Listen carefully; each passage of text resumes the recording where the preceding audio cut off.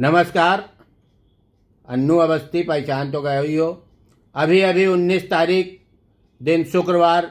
ताज़ा अपडेट ये है राजू भैया के लिए कि अभी उनके परिजनों से बात हुई है, आईसीयू के बाहर थे। डॉक्टरों ने कहा है कि कल से बहुत बेहतर तबीयत है आज।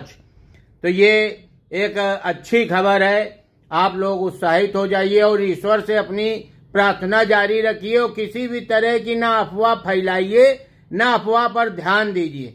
अन्नू अवस्थी बोल रहे हैं, तुरंत की खबर दे रहे हैं। आप लोग खुशी से जो आपके ईश्वर हैं, उनसे प्रार्थना करिए कि राजू भैया और जल्दी ठीक हो और हम लोगों के बीच में हो।